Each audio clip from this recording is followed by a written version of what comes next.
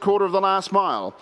And the leader is the favourite, and that's Mickey Dillinger from Sledging. Magny's going up three wide. Is going to have to work hard to try and get around outside of the leader, but is just about there now. Configurations left out three wide on a limb.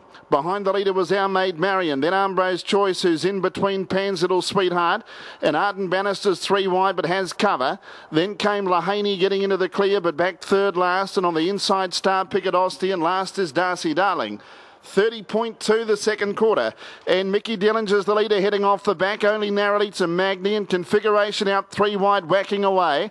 Then our Maid Marianne on the inside from sledging in need of a run, and then came Arden Bannister driven along from Lahaney wide out. Mickey Dillinger in front up to the bend, 28-7 third quarter.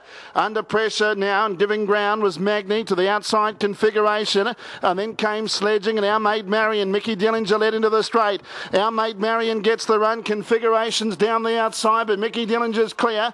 Our Maid Marianne's two metres away. Mickey Dillinger just in front. Our Maid Marianne's coming at it.